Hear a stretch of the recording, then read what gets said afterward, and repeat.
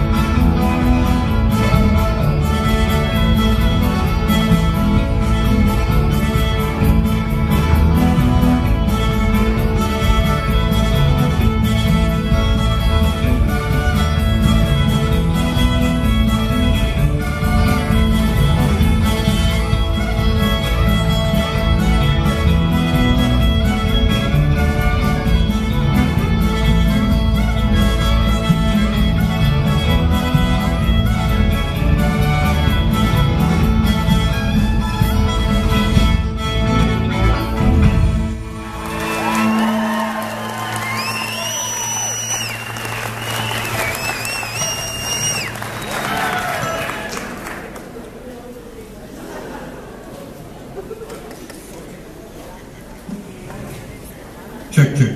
Once again, let's give a big round of applause for Brandon Firth.